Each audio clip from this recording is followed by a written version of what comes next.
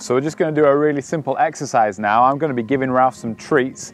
I'm just going to wait for him to actually take a step back, control his frustration, what he's feeling about being really excited to get those treats, and then he's going to receive the treats, the very thing that he wants. So this is a really easy and simple thing that you can try out with your dogs at home.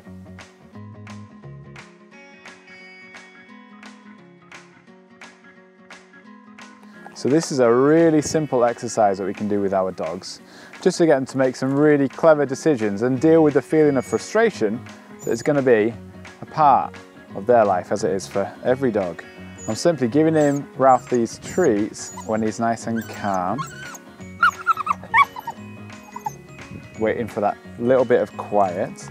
And if I withhold the treat slightly, you can see how he's got to learn, good boy, just to keep his feet on the floor and just relax slightly and then that's how he gets the thing that he most wants. Simply teaching him the best way to get what you want is to be nice and calm about it. If you try and go for it on your own, you're not going to get it.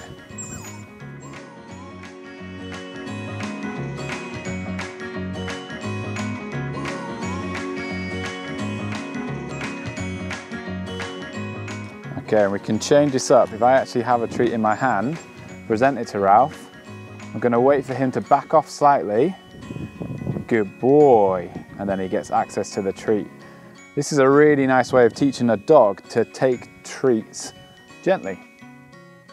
Because he learns it's the moving away. Good boy. It's the backing away is actually what gets him what he wants.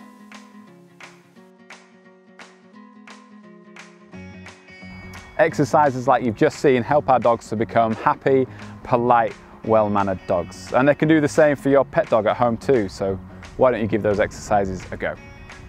Keep an eye out for the next episode of Hearing Dogs TV.